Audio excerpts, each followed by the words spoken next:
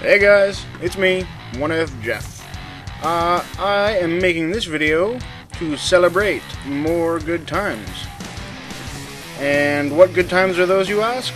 Well, this video is going to be about things that come in threes, and I'm going to pose you a question and tell you a little bit about myself, but first, I wanted to say, we did it!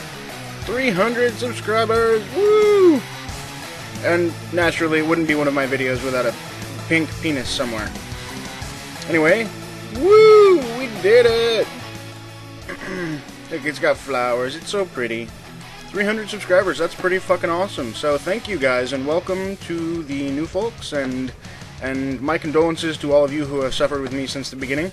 Um, uh, speaking of threes, I was considering doing a new Let's Play this morning of a game that I have wanted to do a Let's Play of since I found out what a Let's Play was, but I decided not to.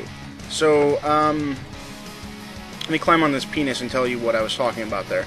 I wanted to do a Let's Play of a game called Rome Total War, which is a awesome game. It's, it's probably it's it's in my top three games. Speaking of threes, so uh, in this video, I'm going to ask you guys what your top three favorite games of all time are, and um, for me, it's it's really simple. Rome Total War is my third favorite game of all time. It's one of the three games that I have on every computer I have ever had. Every computer I've ever had has had Rome Total War on it, which is my third favorite game, uh, Dwarf Fortress, which is my second favorite game, and my number one favorite game of all time is a game called IL-2 Sturmovik, a World War II flight simulator. And if you haven't heard of it, go check it out. It is the best game ever made. So with that, I look forward to hearing your responses and responding to your responses.